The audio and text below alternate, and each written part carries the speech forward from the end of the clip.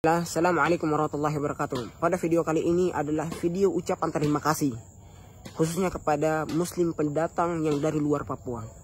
Wallahi teman-teman, saya 12 tahun saya tinggal di Jakarta, di Bogor, di Jawa Tengah, Jawa Barat. Saya tinggal di sana. Kemudian ketika 12 tahun itu saya kembali Papua, saya melihat keadaan muslim di Papua justru yang mereka berkorban waktu, berkorban tenaga, berkorban harta itu adalah muslim pendatang. Mereka men menyebarkan dakwah Islam. Bahkan kemarin sempat ketemu Ustadz Mufli hafizahullah taala belum mengeluhkan kenapa tidak ada pribumi yang di mereka berjuang dakwah. Kebanyakan orang Bugis, orang Jawa, orang Sumatera dan lain sebagainya. Nah, maka pada video kali ini saya ingin uh mengucapkan beribu-ribu terima kasih wallahi kalau misalnya ya serius ya kalau misalnya kita melihat kisah ini kita bisa tarik kepada Nabi alaihi salatu wasallam ketika itu beliau sangat mencintai sekali kota uh, Mekah waktu itu.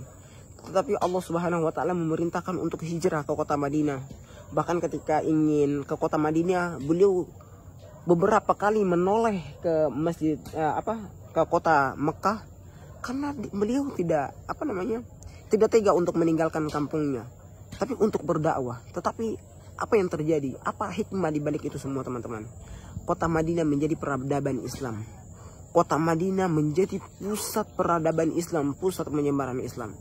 Maka mungkin kalau misalnya teman-teman tinggalkan kampungnya dan hijrah ke Papua untuk menyebarkan dakwah, wallahi yang bisa menggantikan itu semua Allah Subhanahu wa taala.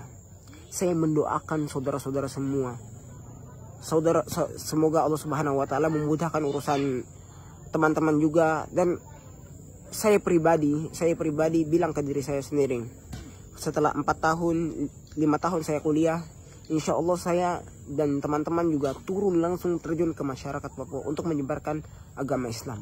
Karena agama Islam ini adalah agama rahmatalil alamin.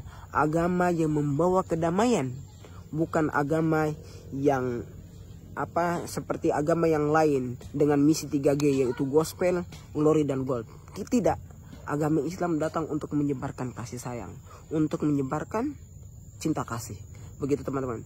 Mungkin yang bisa membalas teman-teman itu hanya Allah Subhanahu wa taala dan saya insya Allah selalu mendoakan muslim-muslim pendatang ini untuk menyebarkan dakwah Islam di Papua.